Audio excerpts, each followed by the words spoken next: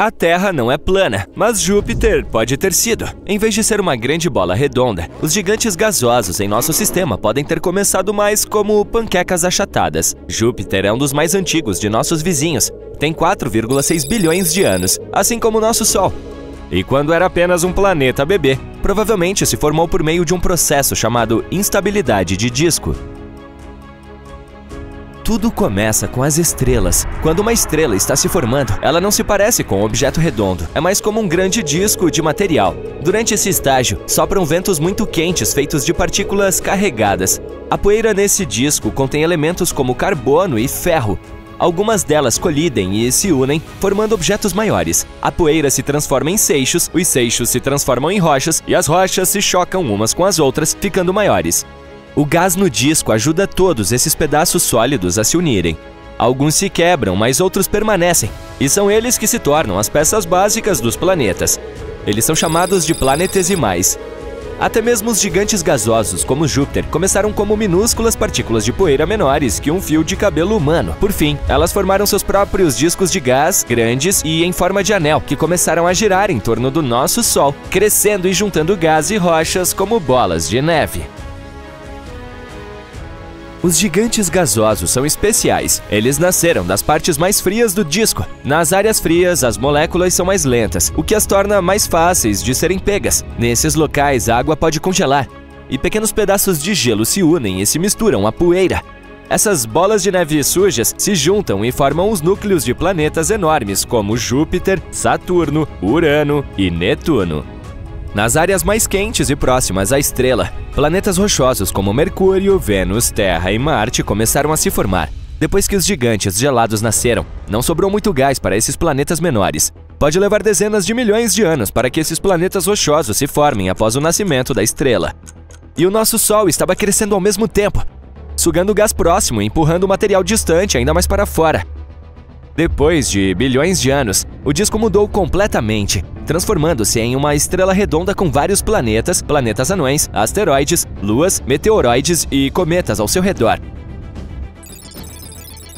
Recentemente, simulações mostraram que esses protoplanetas, como são chamadas essas primeiras bolas empoeiradas, não começam com a aparência dos planetas que conhecemos. No caso de gigantes gasosos como Júpiter, eles se pareciam mais com bolas esmagadas ou chocolates M&M's, não do tipo com amendoim.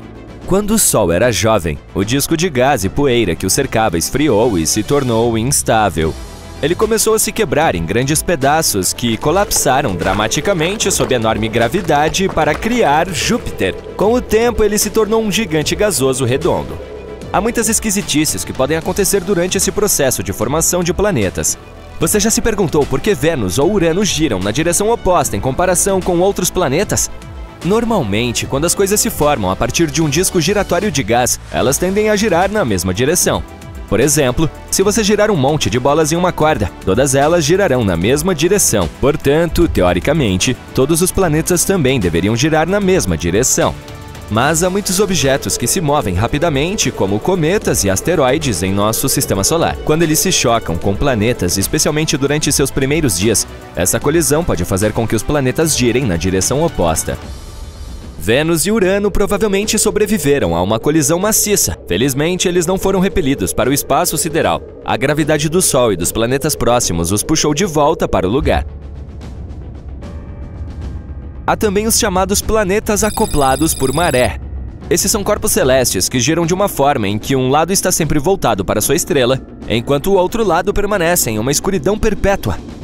Portanto, um lado é sempre muito quente, enquanto o outro é extremamente frio.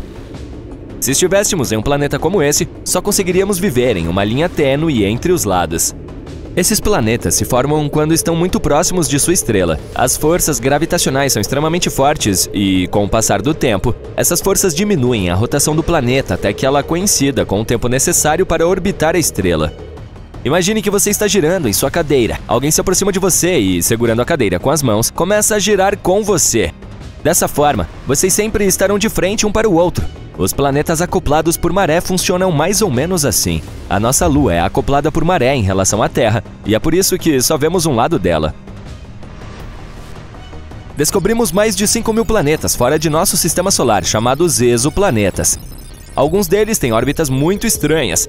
Por exemplo, planetas com órbitas incrivelmente longas, milhares de anos para fazer uma viagem ao redor da estrela, ou órbitas muito tortuosas, semelhantes às de cometas, ou os chamados Júpiteres quentes, que estão muito próximos de sua estrela, muito mais próximos do que Mercúrio está do nosso Sol. Mas esses planetas não podem ter se formado onde estão agora. À medida que seu sistema solar evoluiu, eles mudaram de posição por algum motivo. Esse rearranjo é chamado de migração planetária.